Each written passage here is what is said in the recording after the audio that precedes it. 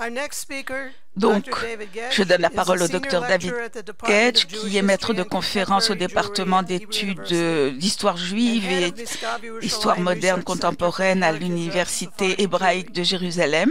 Il est aussi membre du Centre de recherche sur les Juifs d'Afrique du Nord et il s'intéresse à l'histoire intellectuelle des Juifs euh, dans les pays euh, où ils vivent au 19e et 20e siècle et il a euh, publié un livre sur la culture euh, des Juifs du Maroc et également sur la, sur la culture hébraïque des Juifs du Maroc, leur euh, attitude vis-à-vis de la langue hébraïque durant la période coloniale de 1912 à 1966.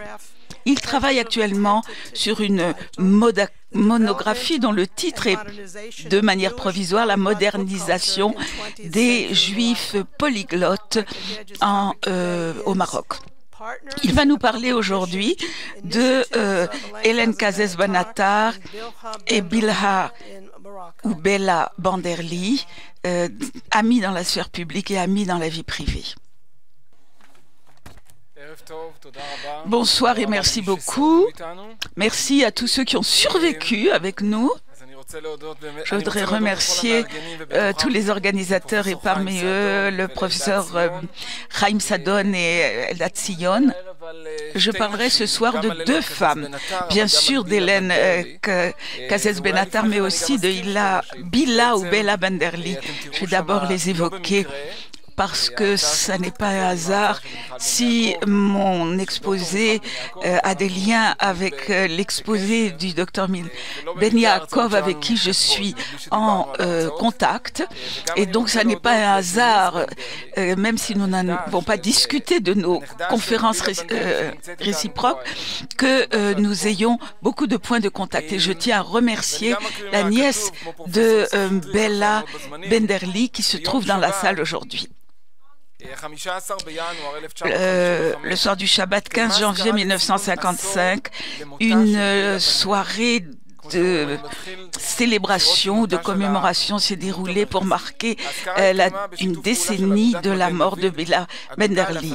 En fait, c'est euh, l'organisation Magen David, qui était une organisation euh, marocaine de diffusion de la langue hébraïque. Et on a Iriel Bouskila, professeur d'hébreu et l'un des responsables de cette organisation, a décrit un peu la biographie de Bila Benderli.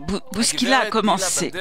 Euh, ainsi, Madame Bila Benderli a été pionnière de la renaissance de la langue hébraïque et a euh, agi en faveur de la résurrection du peuple juif sur sa terre. Et malheureusement, elle a disparu de manière euh, brutale et tragique il y a une dizaine d'années. Et c'est ce souvenir que nous voulons commémorer dans un deuil véritablement profond. Des milliers d'hommes et de femmes ont suivi son cercueil il y a dix ans et on a entendu des oraisons funèbres prononcées par des gens représentant les grandes organisations, l'avocat Salomon Kagan, M. Yaakov El Kriev, M. Shmuel El Malé, euh, l'avocate euh, Madame Benatar, justement, Hélène Casas Benatar et Paul Calmero. Et dans son oraison funèbre, Hélène Casas Benatar rend hommage à son ami Bila Benderli. Toutes deux étaient amis et membres actifs dans des organisations juives dans les années 30 euh, du XXe siècle. Ces deux femmes euh, se sont distinguées dans le paysage de la communauté juive qui était essentiellement dominée par les hommes. Les femmes n'y jouaient qu'un rôle euh, euh, véritablement épisodique ou en tout cas périphérique. Or, je ne vais pas ce soir m'étendre sur Hélène Cazès Benatar puisque nous avons beaucoup entendu parler d'elle lors de la première séance.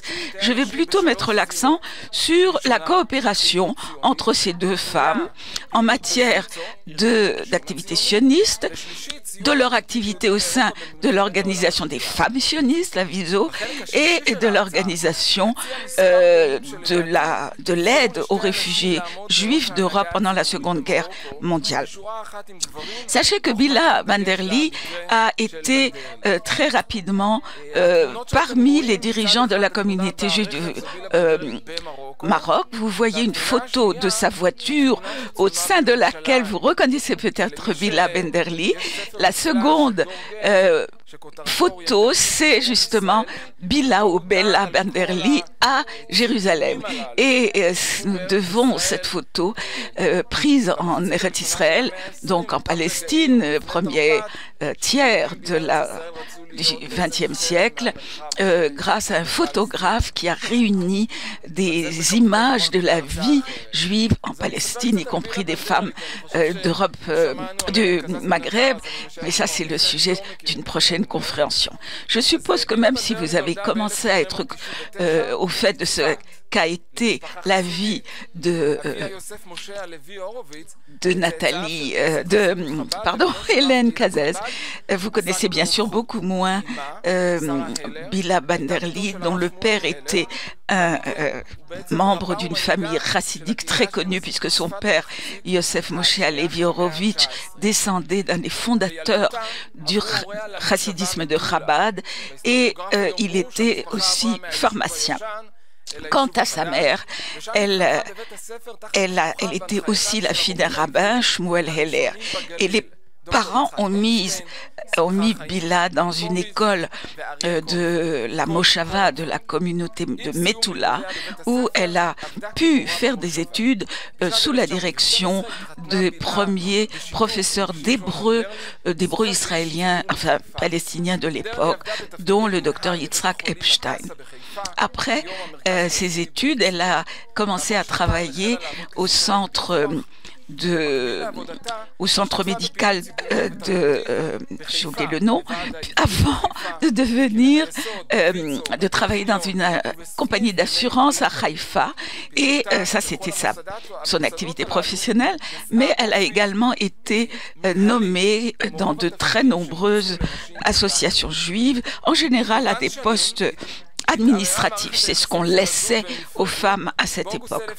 Il faut dire qu'après s'être mariée, Banderly a eu peu à peu des difficultés conjugales et le couple s'est euh, séparé et en août 1932 elle a décidé de s'installer à Casablanca chez son cousin Zaid Schulman dont vous avez peut-être entendu parler.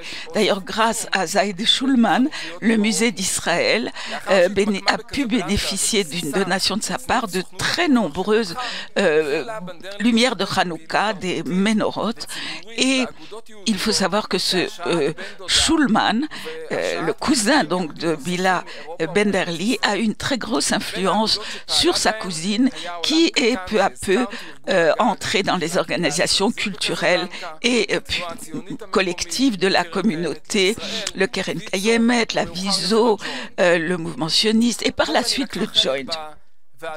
Bella a également été membre de commissions euh, de direction de diverses euh, organisations euh, diffusant la langue hébraïque. D'abord, je vous ai parlé du Magen David, qui était une organisation pour la diffusion de l'hébreu, et puis à partir des années 40, d'autres organisations, dont les amoureux de la langue hébraïque. Moi, j'ai beaucoup publié sur Banderly. Je pense que ceux qui ont déjà lu mes recherches savent de quoi je parle, mais euh, j'ajouterai des détails ici sur la période euh, du début du XXe siècle avec l'arrivée des émissaires de Palestine dans les pays islam islamiques. Euh, dans ces pays arabes où vivaient beaucoup de juifs, euh, il n'y avait pas de sionisme, mais les émissaires ont été très étonnés de découvrir une activité intense en faveur de la langue hébraïque et le professeur Youssef Chitrit en a rendu compte. Euh, Bila Benderli a créé euh, des associations avec de nouvelles idées. D'abord, elle, elle était reconnue comme née en Eretz Israël et euh, connaissant l'hébreu depuis son enfance et donc elle a pu avoir une place différente des autres femmes et être au même rang que les hommes. Elle a organisé des après-midi du Shabbat où elle utilisait des poèmes ou des chansons euh, qu'elle avait entendues euh, dans les, euh, en Eretz Israël. N'oubliez pas que c'est Bialik qui, en 1926, a instauré euh, ce qu'on appelle encore l'Onek Shabbat, c'est-à-dire l'après-midi du Shabbat, des activités surtout pour la jeunesse, mais aussi pour les grands. Donc Benderli ne s'est pas contenté d'une action locale à Casablanca, elle a aussi emporté, euh, emmené ces jeunes ou rencontré des jeunes dans d'autres villes de euh, d'autres villes du Maroc. Et elle a été éblouie de rencontrer dans d'autres villes des juifs qui la comprenaient quand elle parlait hébreu. Et euh, en fait, c'est vrai qu'il y avait des hébraïsants dans beaucoup de villes marocaines. Et elle a instauré des cours d'hébreu en hébreu. N'oubliez pas que c'est ce que faisaient ses maîtres euh, dans son enfance à Metula.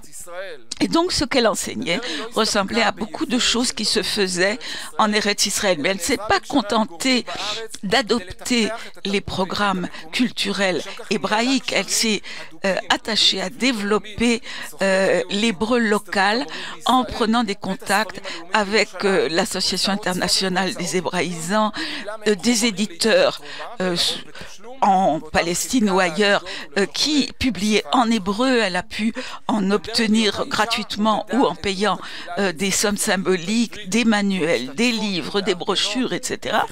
Et elle a organisé euh, pour des femmes et des jeunes filles des activités d'enseignement de la langue hébraïque, de la poésie et du théâtre.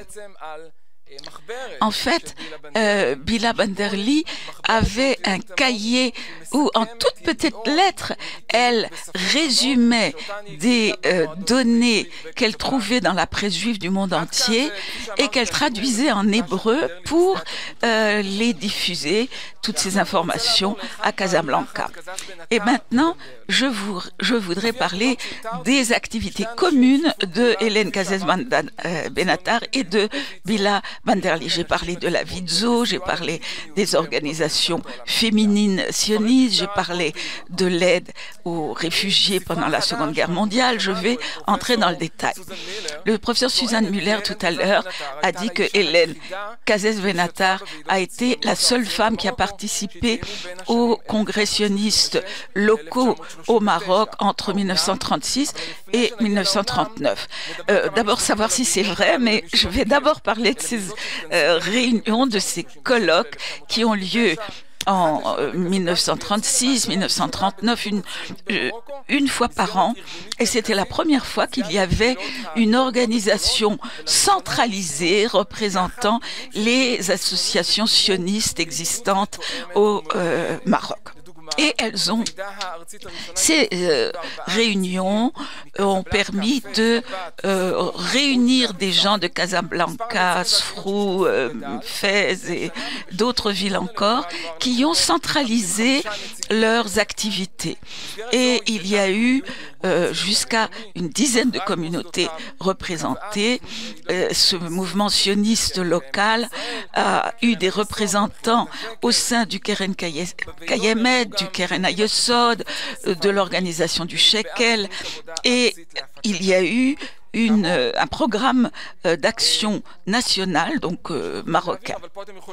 Ah, je vous ai pas montré les photos euh, précédentes concernant les congrès. Là, c'est le congrès sioniste de 1936 à Casablanca. Miller cite euh, une allocution de Suzanne, de Hélène Kazaz Benatar en tant que seule femme qui a participé euh, à ce congrès. Eh bien, dans euh, un, une revue francophone illustrée, on reproduit le discours de Hélène Benatar qui défend le projet de la construction d'un foyer national juif euh, qui pourrait sauver les juifs menacés. Déjà à son époque 36-39 et elle défend aussi les idéaux sociaux. C'est important de souligner que euh, Hélène Casas Benatar n'était pas venue parler uniquement du sionisme, mais euh, c'est très important euh, de voir qu'elle s'est attachée à ces sujets.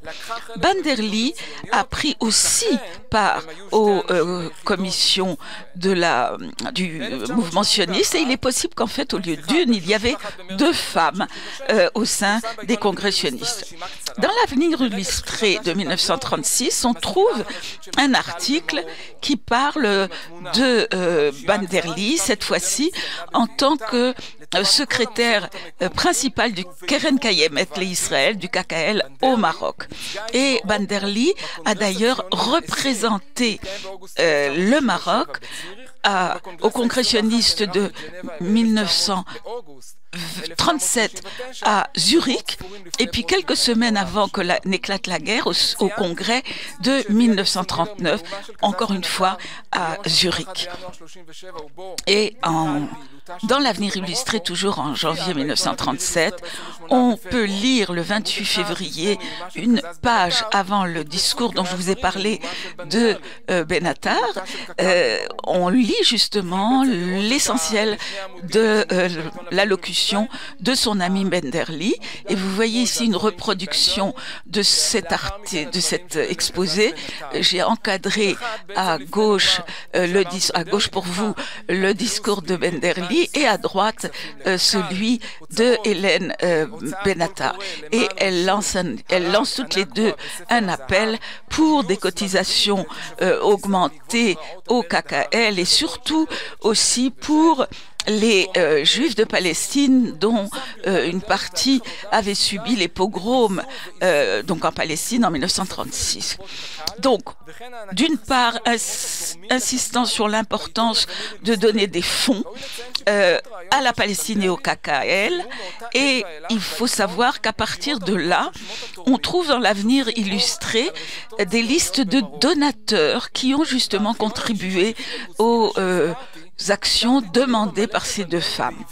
Et puis, on a un article en hébreu euh, de Benderly. Ça serait intéressant d'ailleurs de comparer les notes en hébreu euh, du discours de Benderly et du résumé traduit en français euh, publié dans euh, l'avenir illustré, je crois que sur le plan de la traduction et de la mise en page d'un journal, euh, ce serait intéressant de comparer l'original et le texte traduit et publié. Suzanne Miller a aussi souligné qu'il y avait un certain nombre de femmes de la Vizo en 1940, mais il n'y avait pas plus de, il y avait moins d'une quarantaine de femmes. Et dans l'avenir illustré, le 30 septembre 1938, on voit, euh, on peut lire un rapport de Ben de Cazès, Hélène Cazès, sur les activités de la Viso, mais on trouve aussi des rapports en anglais sur euh, la correspondance entre le, les membres marocains de la Viso et des membres de la Viso en Palestine euh, et après la guerre aussi. On voit dans cette correspondance euh, cet, appel à euh, Hélène Bellatar. Nous espérons que maintenant que la situation s'est un peu stabilisée, vous poursuivrez vos activités en faveur de la Vidzo et des activités en faveur d'Israël. Donc, c'est très intéressant de se rendre compte que euh, après la guerre, le lien n'a pas été coupé et qu'on encourage euh, Benderly et Kazès à poursuivre leur euh, collaboration à l'organisation des femmes juives sionistes de la Vidzo. Euh, J'ai pu m'entretenir avec Denise Cazès et on sait que euh, si aujourd'hui Hélène Cazès était restée en vie, ses archives seraient restées complètes, alors que malheureusement, après sa mort, il y a beaucoup de choses qui ont été dispersées. Et c'est vrai aussi pour les archives de Benderli. Euh, par exemple, je vous ai cité Bouskila parlant de Benderli. Eh bien, on trouve une partie des archives euh, de Benderli chez Bouskila. Mais il semble que Benderli ait continué à s'occuper des réfugiés d'Europe au Maroc. Et Iriel Bouskila, au moment de la mort de Benderli, je le cite à nouveau, dit que en 1940, lorsque des milliers de réfugiés ont fui le régime nazi du, euh, de, de, Hitler le méchant. Je garde l'expression parce qu'il y a eu un poème écrit par Chaim Suissa qui portait le titre euh, Hitler le méchant. Eh bien, euh, souligne l'importance de l'activité en faveur des réfugiés, le fait de les nourrir, de les soigner, de les placer dans des familles euh, locales de juifs locaux. Et c'est très important de savoir que à la fois Benatar et Ben Darli ont euh, collaboré dans cela et beaucoup de ces activités sont restées complètement méconnues, on l'a déjà dit. Et il faut revenir aux archives pour voir dans quelle mesure Benderli a contribué à aider les réfugiés. Kazes Benatar et Benderli, je l'ai déjà dit, ont été évidemment euh, reconnues au Maroc, surtout qu'elles étaient pratiquement les seules femmes à agir euh, au milieu des, hommes qui dirigeaient la communauté. En ce qui concerne Benderli, on peut dire que toutes ces activités dans les années 30 et 40 ont été véritablement couvertes de succès. Euh, évidemment, c'est assez parallèle de la réussite euh, de Hélène Cazès, mais je crois que Ben Darli était particulièrement respectée du fait qu'elle parle, elle était en fait hébréophone, elle a parlé hébreu euh, lors de sa naissance et de ses études en Eretz Israël, en Palestine, à l'école à Metula. Elle a étudié deux professeurs qui étaient des pionniers de l'enseigne, de, des enseignants de l'époque. Et puis sa mère lui a transmis les enseignements du Talmud de son père qui était, je l'ai dit, rabbin. Et au-delà de cette, ce capital culturel de Menderli, il y avait aussi un capital euh, émotionnel et symbolique. Elle était considérée comme envoyée des rabbins de Palestine. Elle a été particulièrement honorée parce qu'elle était une représentante vivante de la communauté juive de Palestine. Et euh, elle était capable de, de, décrire les paysages, les lieux, euh, la renaissance euh, de la communauté juive de Palestine et de rendre vivant tout cela. Et donc dans la les communautés juives du Maroc, comme dans toutes les communautés du monde d'ailleurs, on mettait toujours l'accent sur l'arbre généalogique des notables de la communauté. Or, de par ses origines, euh, deux grands-pères euh, euh, rabbins et, proches du chassidisme, etc., elle était considérée comme une descendante directe de cette généalogie. Et donc les femmes étaient cette femme a été très importante. Et n'oublions pas qu'en plus, elle représentait euh, la modernisation de la communauté juive de Palestine et elle était euh, une représentante du modernisme en général qu'elle a réussi à faire pénétrer dans les villages les plus euh, isolés du Maroc, mais aussi d'Algérie.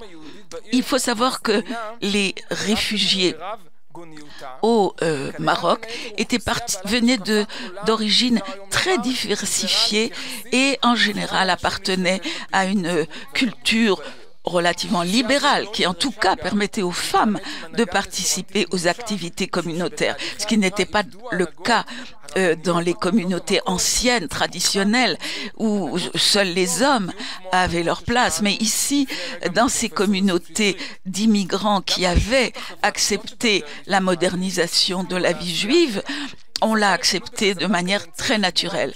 Et elle s'est, euh, elle a pris des contacts, je parle toujours de Benderli, avec des, notables de la communauté juive euh, moderne du Maroc Et il ne faut pas euh, négliger non plus l'importance de ces mouvements occidentalisés. C'est l'expression qu'on utilisait déjà à l'époque, l'occidentalisation de la vie juive. Et il y avait dans ces organisations beaucoup de juives, de femmes, pardon.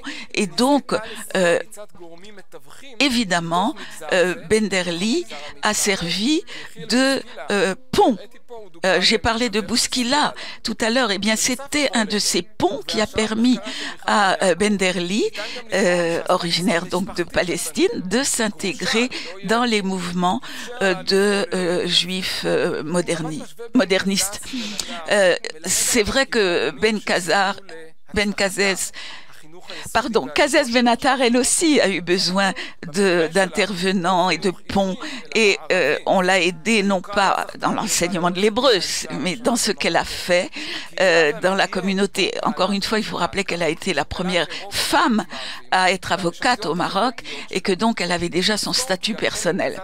N'oublions pas que Hélène Kazès Ben Kazar euh, Benatar n'a plus euh, été limitée par le fait qu'elle était l'épouse d'un homme puisque son mari est mort très jeune et donc elle a agi entièrement en tant que femme. Ces deux femmes ont eu un grand rôle dans la sphère publique.